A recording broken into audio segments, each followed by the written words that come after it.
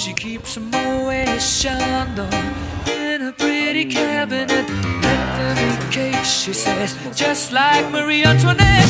Building a remedy for Khrushchev and Kennedy. At any time, an invitation you can't decline. Caviar and cigarettes, well versed in etiquette, extraordinarily nice. She's a killer.